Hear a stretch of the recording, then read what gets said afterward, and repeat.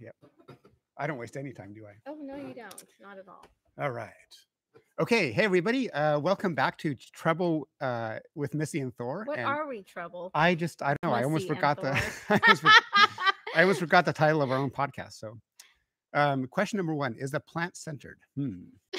you and all your Yeah, one inch, no. like a half a millimeter. Okay. So, um, anyway, so we uh, we are busy uh, goofing off here, and we um, yeah. If you haven't watched us before, um, this is our first time wearing red. Today's like a red, or uh, maroon red, day a or maroon whatever. red. This kind of maroon. Yeah. yeah. We decided to switch it up. We like- musicians. We're so used to wearing black all the time. we are very dark. I had a, I had a I had a student tell me once that I was wearing black too much. She's like, Really? Melissa, you need to wear other colors, and I'm like, but this is my professional color. This is what we're told to wear when we perform. She's like, "You're bringing me down, man." I know. Wear something a little brighter. Yeah. I know. So we decided to do like a more reddish kind of thing. Um, but yeah, if you haven't watched us, we do this podcast from Apollo Piano um, in Chico, which is on Mangrove. And uh, I know that if you've watched this before, I've mentioned Vince Chambers, who's the owner.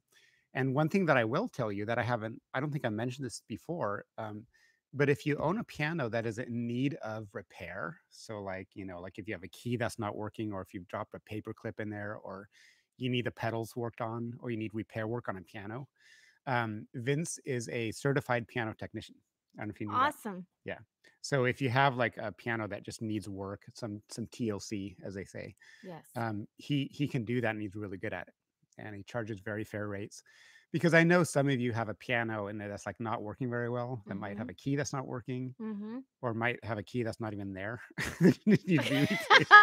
like, oh, there's a big hole in my or you're spending a lot of time at home because of COVID, and you're like, you know what? I think I'll tickle the old ivories. Yeah. So And if the ivories can't be tickled, you need to call Vince. That's a weird statement. Okay. yes, So uh, today we're talking about musical styles and genres. yes, And yes. and uh, we ha- I, we haven't we planned on what we're going to say yet, but um, I was gotta thinking- face my microphone in yeah, the right direction. right.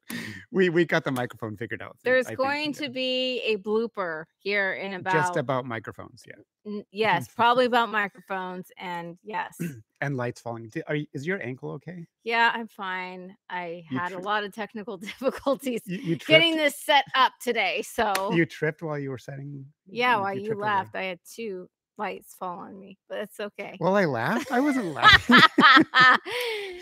I was like, "Oh, come on, walk it off, right?" yes. but but uh, fortunately, Melissa is not seriously injured, and we are Yeah. here, and we're okay. And Thor has me, so that's good. And nobody. Even though he wants to make this a one man show, trust me, he's trying. he's trying to make it that way, but no, no, no. I'm not trying he to fade won't you get out. that lucky. Trust me. I would never be able to do this without my uh, jolly sidekick here, so don't worry. Yeah. Psychic. Um. Okay. Anyway, so Well, don't knock anything over. I won't knock anything over. So Okay. anyway, we are okay. We didn't have to call 911. Yes. and um, we're going to talk about musical styles. So what I'm thinking of doing is just kind of mentioning something about the history, but I'm not going to do a full on history because we'd be here for three weeks. yeah, and that. plus it's boring. Trust me, this is going to be fun. Too much history with music could be boring. So I'm going to mention one thing about it that's actually not boring, and then Missy and if is he gets boring, I'll let him know. just smack me. Throw cake in my face, right? Cake Um, in your yeah, face. she, the, the our certified cake flinger. So. Yes.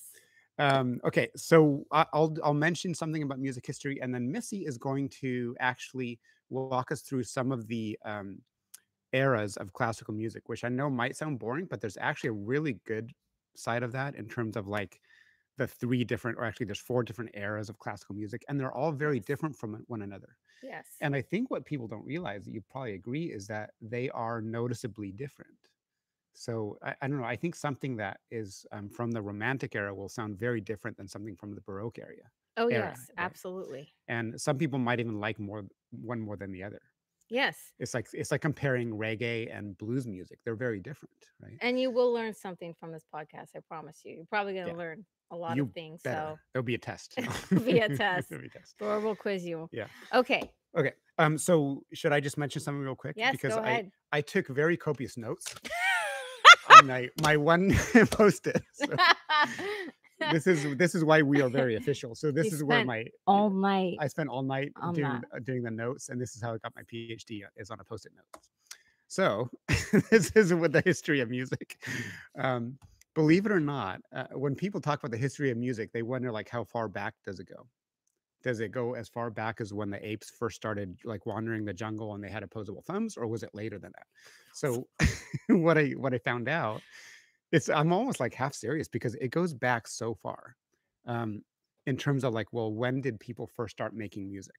Okay, because this will go into musical styles in a minute.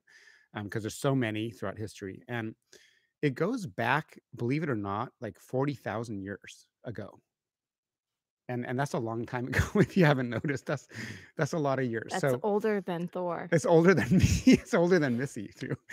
And so for so the reason why people know this is be, because archaeologists dug up like artifacts and stuff, and they found flutes that were made of femurs, bones of from bears. So they they apparently like some of the people way back in the day, um, 40,000 years ago, they they would hunt bears and they would use the femur and they would carve flutes out of the femur and they would play music on this flute made of bone. And this is just this is from the one page of research I did.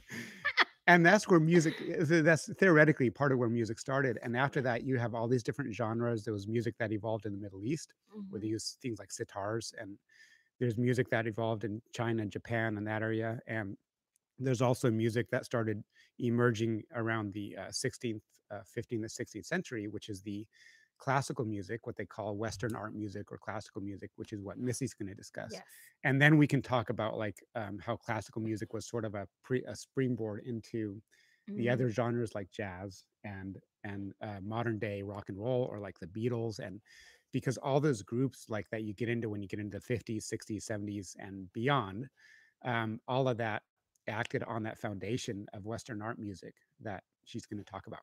So Yes. tell us about classical music. Well, there's there's a few musical eras right before that Baroque period. One of is the medieval, one is the Renaissance, and I think uh, those are pretty self-explanatory. One started like 1150, and the other one started in around 1400s, and then the 1600s, and then the Baroque era started right after that. Um, so uh, this is this is uh, something I've discovered, you know, in teaching piano, and that I was um, a former member of the National Music Teachers Guild, and um, it's it was a really good experience. Um, I was able to, and I still do this with my students when I teach, but it's it, when when we're getting together like a, a a group of music to perform or to learn just to learn we pick a song from each classical era so the baroque the classical the romantic and the contemporary and usually students will um they'll click from one with one era or the other so if a student is really good in math they'll usually do really well in the baroque era and if they're really good in English and, and strive in English, they're going to do well in the um either the classical or the romantic era. You take a mathematician and have them play Chopin. Yeah. Uh, so as mathematician, do you mean like mathematicians would be good at playing Chopin? That I, I'm saying they would probably it would not be their cup of tea. They Okay. would they would probably not interesting? do I, it, it they they could play it, but it wouldn't be their it wouldn't that wouldn't they would probably favor the Baroque era over the Romantic era. Okay. Is that because the Baroque era has music that's more like structured and technical and uh, Yeah, I believe so. Yeah. Yeah, but it's interesting if you are a music teacher, um, I highly recommend asking your students uh, what their favorite subject is in school, and Oh. you'll usually it's it's interesting. But um, that's something I learned early on. But but going back to the Baroque era, we have um, we have uh, classical composers such as Handel and Bach, Mhm. and um, do you know what Bach's inventions were originally um, meant for?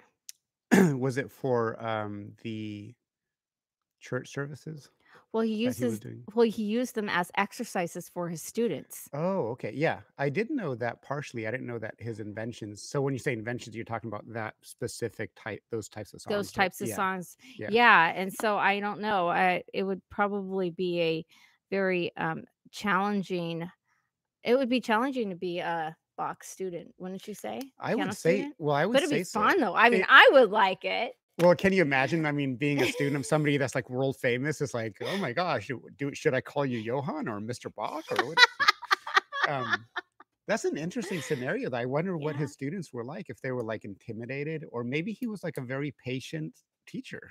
Well, you would have to be just to yeah. be patient to just write that music. You'd have to have Yeah, some amount of patience. Um, so, so. everybody, you know, who works with me outside of of my piano studio, and even in my piano studio, but this is outside, they say you're so patient. I think in order oh, to good. to be a classical, you're all not with Well, no, I mean, it, no, no, no, not with, no, not with you specifically. It's, it's a good compliment to a teacher because being a teacher takes a lot of patience. it does. It You're does. working with kids who are eight, nine, ten years old, and it, you know, Yeah, and I tell them, well, in order to, you know, become a fairly decent classical musician, you Mhm. have to have a certain amount of discipline. You also have to be, uh, you have to be patient. yeah, yeah. You do as a, as a student. You mean also? yeah, as a student. I yes. agree. And and one of the things I've noticed is that you've probably seen this too because Mhm. you have kids may same age group. Mhm. Um, and I'll just throw this out there to anybody watching. Um, because we have 45 subscribers now, right? Maybe 46, I don't know. Yes. But um, uh, I've noticed that with some of my students, one of the traits that they seem to already have when they first start is they just want to be able to play the darn song and they want to be able to play it pretty quickly. Yes. And sometimes it doesn't work that way right away, especially if you're a beginner. You have to work on the right hand first and spend a few weeks just developing your right hand. And then you spend a few weeks doing the left hand, and then you try hands together. Mhm. And when you try the hands together for the first time, a lot of times the song just falls apart because now your brain's on overload. Exactly. And I'm sure you've had that same experience. So Yes. I, I tell my students the same thing. Like sometimes you have to have a little bit of patience, but I promise it will pay off. Because then when you are able to do it, then you'll be like showing it off to your friend. You'll be like, Mom, look what I can do. And you're going to be in, in that stage where now you can play both hands together.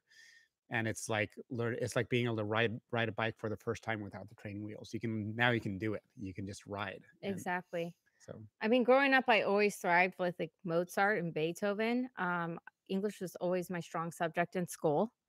Um, but as I got older, and I don't know if it's because my brain was, I don't know, more developed. I don't know. oh. So you were the straight A top of your class student when you were younger? Sometimes. Oh. Um, but I really. I really, um, I really became a fan of Baroque um towards the end, like when I Mhm. was a senior in high school. Yeah. I remember uh, playing Handel's Messiah for my senior recital. And you said math is a so is math one of your strong suits? Well, it, it that- wasn't always my strong suits. I became much better as I got um, older, but uh, Mhm. but I but I became more um, connected with Baroque music as I got older. Okay. And now, like, I love Bach, I love Handel, and Mhm. I can't tell you when I was, uh, you know, in junior high, I was like, my teacher had to make me play those guys. Oh, really? Oh, Those so in Baroque junior high you didn't like them? No, I Oh, didn't. I was like Baroque. I mean, I was like Mozart, Beethoven, and the Baroque era was like not my forte at all. Yeah. It's interesting that you developed because I actually mentioned this in this ad I put on Facebook today about our fake our fake degrees that we have after our names. yeah, Um, but anyway, I mentioned this like it seems like your taste evolved a little bit as you got older, it did. It yeah. did. and I think that happens sometimes. So Yes, I, it's amazing how that works. So Yeah. yeah.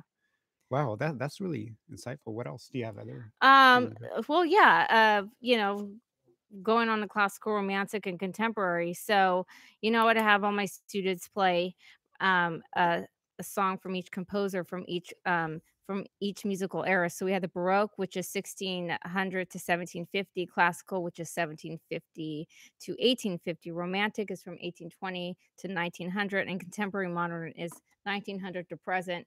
I think contemporary is pretty much across the board.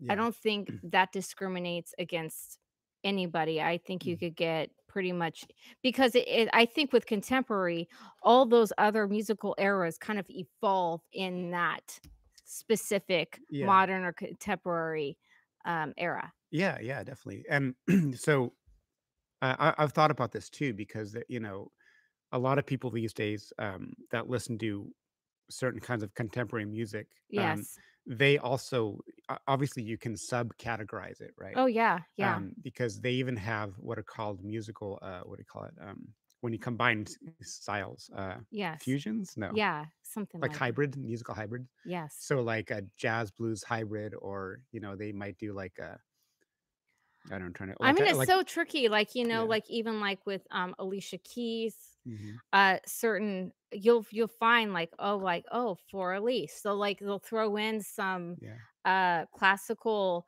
uh, music in their hip hop. Their hip hop artists are known for taking someone like, you know, really well known classical pieces and like mm. throwing them probably And mixing it in with part of yeah, part of their yeah. intro in And and actually, music. like here's a good example. Um, the Moody Blues. Now, hmm I'm believe it or not, I'm not a history expert, but the Moody Blues was a band that was when the 70s. hmm Are they from the like that. 70s? Yeah. If I'm wrong, you're welcome to type it, and then you can uh, criticize me for being wrong. but so I think they were from the 70s. I could be wrong. Uh, maybe 60s. I think 70s. The Moody Blues. They had um, this 70s style kind of rock music, sort of progressive style a little bit, but they mixed in uh, classical music with it or classical style music that sounded very much like. I mean, they used a, a full orchestra with their rock music and blended it. So things like that. So you have these hybrids, but yeah, the the contemporary period is so you said uh oh yeah, from 1910 But from 1900 to present. 1900. Yeah. Yeah. So 1900 to present is was was called contemporary music. 1910, give or take 10 Give or take, yeah. In the 1905, you know. There's no exact time when it starts, obviously. Yeah. And there's some overlaps with the ever, other eras too, Exactly. but 1900 onwards you're talking about contemporary music. So you can anything you listen to nowadays that's older than 1900s can technically be grouped in that category, but you obviously have subgroups, you know.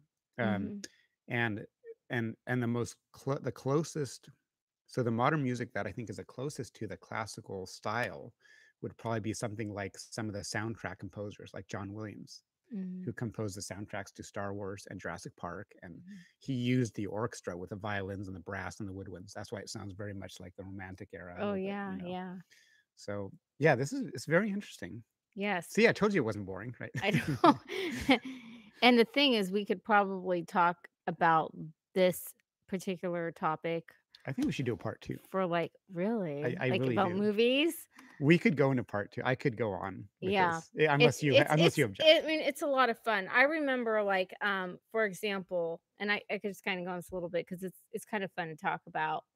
Um I had two daughters and one uh played the piano and the guitar and the other one played the violin. And I remember my daughter's teacher had a movie theme one year for the recital and so my daughter decided to play um well there was I don't know how we're able to because there was oh there was also a patriotic theme for one of the recitals. So for the patriotic theme my daughter played the uh theme song to the Patriot oh on the violin which was really pretty and then for yeah the music theme she played uh the theme song to Legends of the Fall. oh wow that's And of cool yeah course, mom, can you accompany me? Okay, so that's yeah that's what we did, but it was a they're and both you very beautiful pieces. and did you accompany her Yes, I did. so you guys have like worked together that's Yeah, really yeah, it was a yeah lot of fun. So, yeah yeah, but um getting back to that too, you know, there's there's some like Thor was talking about, there's some you'll you'll hear that there's some type of like classical styles in those musical hmm uh theme songs, yeah which is really cool. Yeah, Yeah. well, and especially in, in movie soundtracks, because what Mhm. you'll notice about, about movie soundtracks is a lot of them have uh, very emotional sounding, like violins, strings, cellos, Yeah. very rich. You know, especially like the suspense movies, um, Yes.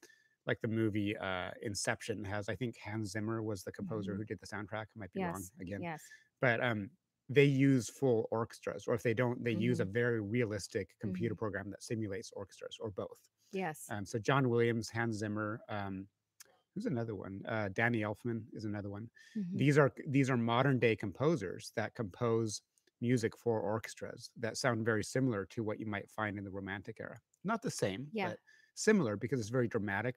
And Yeah. so, where do you think they got that style? So it's all historical. It stems from those earlier eras. Absolutely. Because Yeah. I um one year in 2016, I performed with the Orville Community Chorus and Band, and we which you know, uh, uh what's April Taylor, Yeah. who we had as our guest speaker last week. Uh, she is now the director of that um, Orville Community Chorus and Band. But getting back to that, I was their featured pianist back in 2016, and we performed a song called "The Seal Lullaby," and it was a song that was like almost a Disney song. I guess it Wow, didn't quite. really? The movie didn't. It was like pitched to Disney, but they didn't. They didn't pick it up Yeah. anyways well it was a really really fun piece and it kind of re- it was like a movie theme song and it Mhm. did have very like a very strong romantic style to it which was really pretty and, and fun to play on the piano Mhm. um but yeah i and i have that recording it's really cool on my phone but um yeah it's a lot of fun yeah Cool. that's when like i that. played in front of like a bunch of people and Yeah, I remember you i wore a that. pretty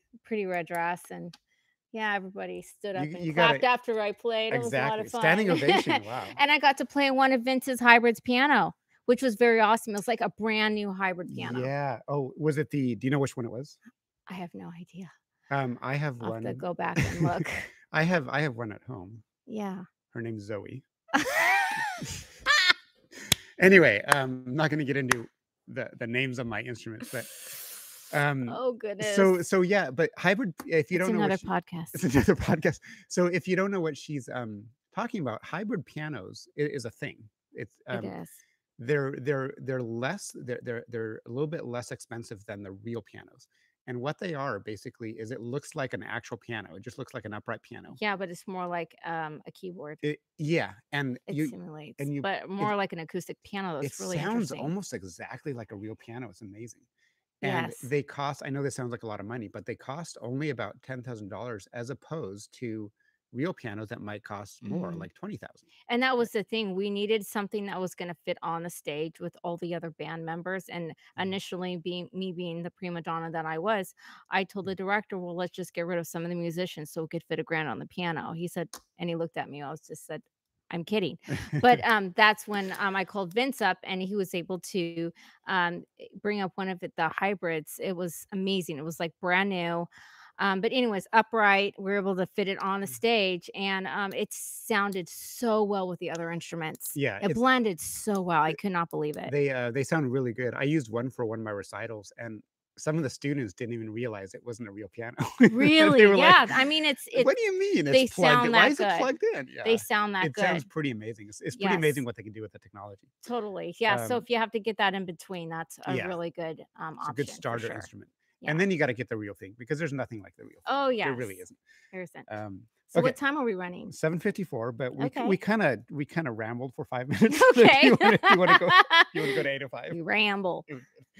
Um. so, anyways, um.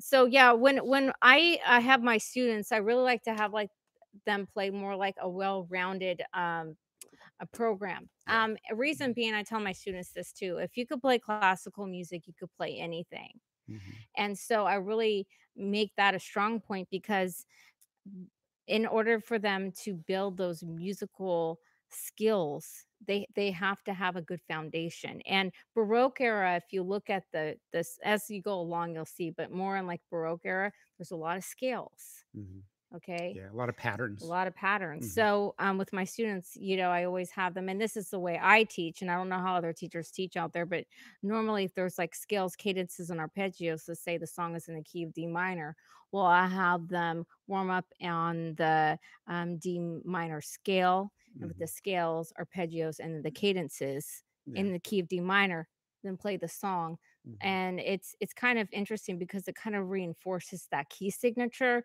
and Mhm. that when uh, students play the song they're less likely to um, miss the uh, the notes that are in that scale because they know oh well in the key of d minor you know i have a b Yeah. flat or whatever it is. Yeah.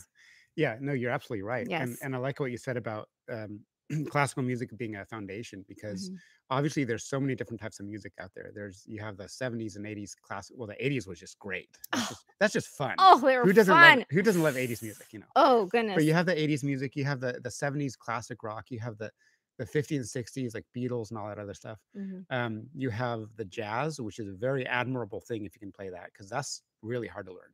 Yes, it You is. have the the blues, which I love. Um, you have all these different styles and Is there anything you don't like, Thor? There's there's only two types of music that I don't listen to, and it doesn't mean that that style of music is worse or in, Diego just kind of keep that to yourself. No, no, no, it's okay. I don't mind mentioning this because this actually goes into. Well, we know Yanni is not in that category. that's not a style. It's just a guy. Pe- People think he's like my secret admirer, or no, I just told Thor to grow his hair out. Look like him. Anyway, I'm not growing a goofy no, mustache. not happening. It's not happening. Okay. Um, what was I saying?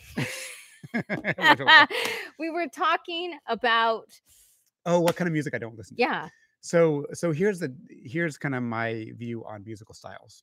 Uh, I think that they they are all um, what's the word? Uh, Equal. equal yeah in terms of like uh merit so there's i don't think there's any such you know, i don't think there's any one style that's better than the, than the other Mhm. although i do very much very adamantly agree with with missy when she says that um if you can learn to play classical music you can learn to play most other genres most of them Yes. i think because it, it, it builds a really good foundation Mhm, because you're talking about three or four hundred years or more of history of, mhm, of different evolving musical styles mhm, you learn that stuff you can play rock you can play reggae you can play mhm. blues um the electronic weird progressive stuff that they have now with these, I don't know And and not only that too, like if let's just say you want to be in a band Mhm. or you want to play in a musical ensemble group.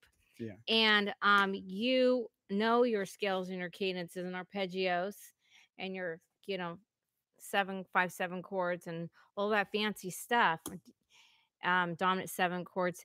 You're going to be able to sit down with a lead sheet yeah if you don't know what that is, that's like a a, a sheet with like chord names on it, mhm, and you're going to be able to follow along with that music very easily. like that and not Yeah. only that, you're going to be able to improvise and and do fills and and make it sound good because you have that that background in uh Mm. classical music and then all that stuff, you know, especially when you go into more richer things like Yeah. oh, It- it- don't even get me started on Rachmaninoff. oh, love that guy. oh my Oh. god you had to mention him and we have like five more minutes I know. but Keep yeah no going. I, I i agree and it, it Mhm. will just it will re- really empower you so as an example like i've been in a couple of bands i played the keys in a couple of bands we weren't famous but there was one where we played like two gigs You had big hair at one time. i did not no that's not true i had a little bit of a i had a little bit of long hair when i was 16 like down to here maybe a mullet. not really You had i did not have a mullet. okay. Sorry. no no I- Off the well, topic. maybe kind of like on the People are trying to learn here. Let's keep on going. Um so uh, uh now i forgot again what i was gonna say you were in a couple bands. oh yeah i was in a couple of You bands played the keys. i play the keys and one of them we played four shows and two of them were barbecues so it doesn't really count as like like a valid legitimate band but what i can tell you the reason i bring this up there's a reason and that is that when when they um decided to audition me they were like oh you play the keyboard huh? Well let's see you know because these were like these cocky musicians one was like a guitarist and there was a drummer and the singer. The singer was really bad but um they they were they were I'm trying to generally they were generally good musicians and they were like okay thor let's see what you can do.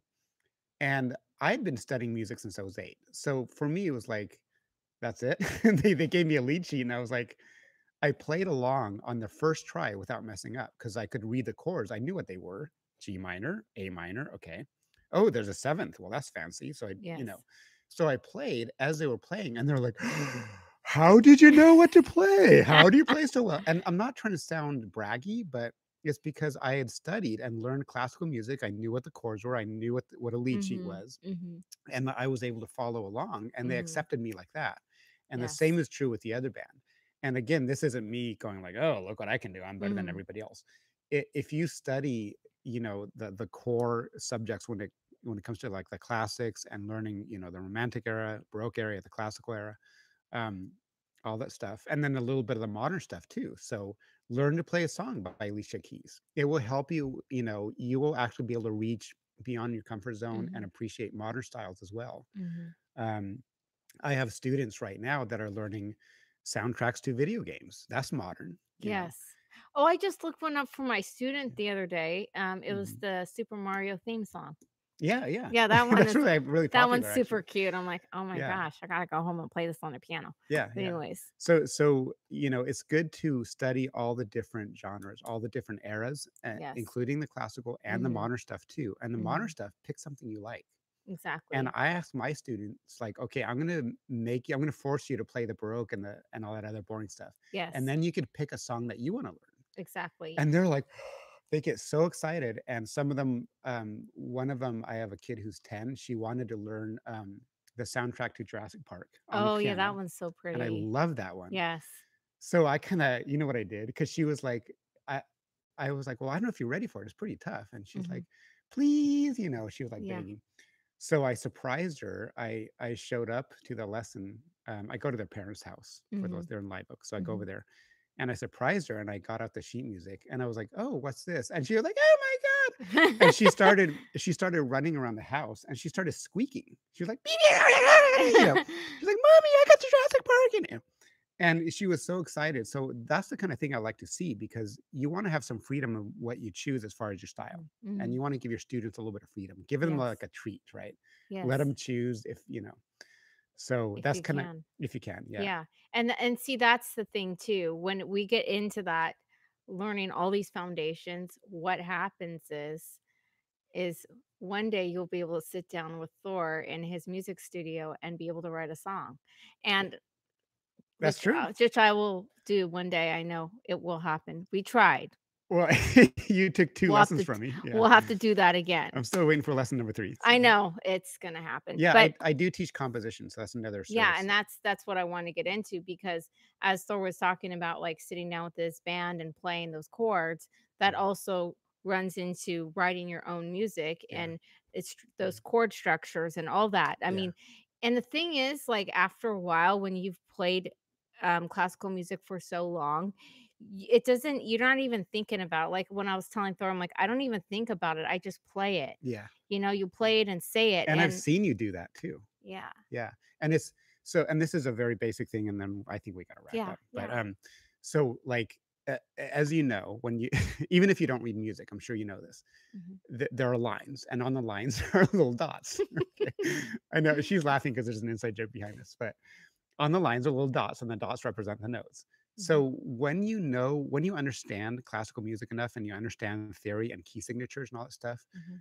you almost don't have to even read every dot that's on the page, because you can just look at what the key signature is, and you're like, "Okay, the key signature is in E major." I already know there's 4 sharps in E major. So you don't have to look at every note and like, "Oh, is that a G sharp or G natural?" You just know because you've been studying this for so long. Exactly. It's kinda like when you're reading regular words, like when you're reading a book, you don't look at every single letter in every word, right? You just look the at the word as chunks.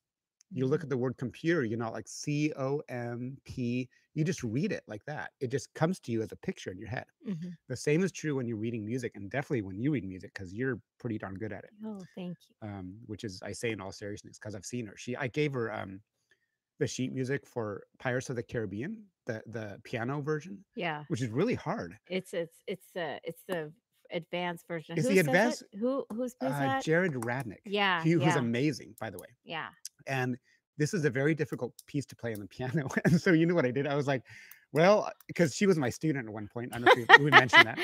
And and I was like, "Well, since you're this good, let's see if you can do this." And I was like, "Good luck." And she was like, and she, like, played it almost flawlessly, and I'm like "I should be taking lessons from you. What are you doing here with me?" We all have our strengths we all have a strengths, and our weaknesses. Yeah. But, um, yeah, so I you know, that that's that's the thing. We're we're gonna have to, like, really, um I think next week we could kinda tie into, um, these musical eras, but maybe we'll go into more music composition. Yeah, that'd be great. Yeah, Oh, that's yeah, a good to idea. kinda tie into Yeah. that. So I think Okay. that'd be good. Yeah. Cool. So music compos composition next week. Yes, That's a good absolutely. good topic. It's a good teaser, right? Yes, absolutely. Okay, anything else? Okay, I think that's it. Um, please subscribe. Thank you for listening and and tuning in to us, and, Yeah. uh, we really appreciate it. Like, um, someone had mentioned to me earlier this week that they that this was more like a music tutorial, and I I really Oh. agree with that. I mean, if you're learning from these videos, that's that's kind of our intent. We Yeah. really want you to, um walk away with um, some musical knowledge Yeah. um, from this podcast. or even just inspiration and yeah, encouragement you know absolutely. because uh, music is not ju- it doesn't necessarily have to be a career for you although if you do like my hmm hat's off to you because that's what i'm doing Yeah. and i gave up um, teaching seventh grade full time to do it but um, but it could also just be something that you pursue on your own time in your free time and for your enjoyment and it it will really make your life better especially in times when you have to be at home a lot because of what's going on um, Exactly. so it's just like eh, it's like pursuing any other art, whether it's painting or sculpture.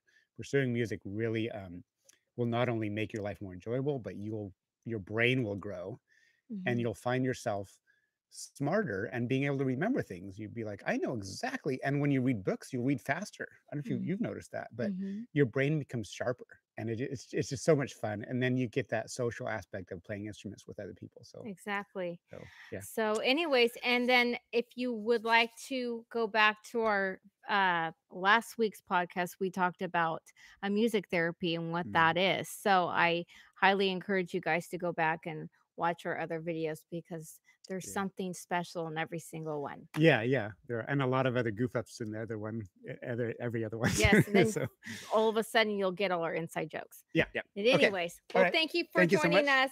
Mhm. See you next Thursday at 7:30. Am I turning it off? Yes. Okay.